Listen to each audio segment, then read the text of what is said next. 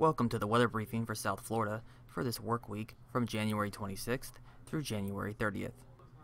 Here is a look at the forecast map for Monday. A cold front will move through South Florida by Monday afternoon. A few showers are possible, mainly near Lake Okeechobee and towards Naples. It will be breezy to windy behind the front, with northwesterly winds increasing to 15 to 20 miles per hour, with gusts as high as 35 miles per hour. Highs will be in the morning for Naples and the lake region, around 70 degrees, and then temperatures will drop in the afternoon. For the Palm Beach to Miami metro areas, temperatures will warm into the lower 70s.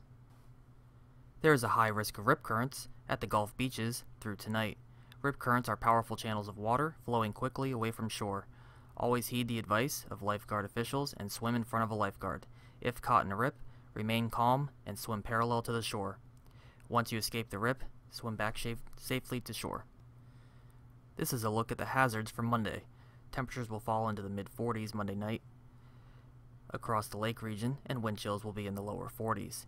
Seas will rise to 7 to 10 feet across the Gulf waters and 7 to 9 feet over the Gulf Stream and offshore Atlantic waters. Winds will increase over the marine areas to 20 to 25 knots, and a few gusts to gale force are possible. Dry and cool weather will persist across South Florida through the middle of the week. A reinforcing cold front will move through the region Tuesday night, and hazardous marine conditions will continue over the Atlantic waters through Wednesday. Lows each morning will be in the 40s and 50s, with highs in the 60s to the lower 70s. High pressure will move east ahead of another weak cold front over the middle of the country. On Thursday, winds will shift to the northeast and temperatures will begin to moderate. It will still be cool on Thursday with highs mainly in the low 70s and lows in the 40s and 50s once again.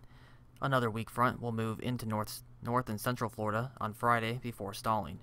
Temperatures will warm back to around normal. Dry conditions will continue through the week.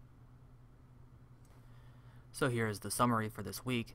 Below normal temperatures are expected for much of the week.